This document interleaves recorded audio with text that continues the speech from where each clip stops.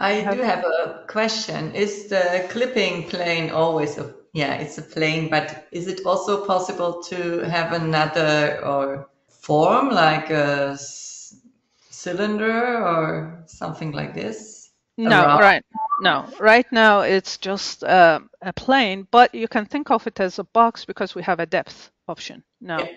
So if we if I set the depth here to be um, you know three, um, effectively I am having almost like two clipping planes um, and, and, and I'm having like uh, two parallel clipping plane opposite direction that are cutting through my object, um, if you will. So as you can see here, how that works, right?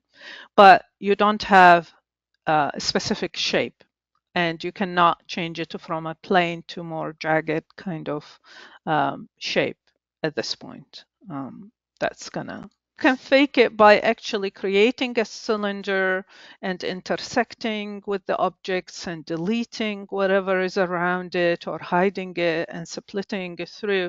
You are actually changing your model, but you can think of a clipping a plane as it's only visual. It's not changing the integrity of your model. So you can go to any other uh, viewport that is not clipped and you see that your model is intact.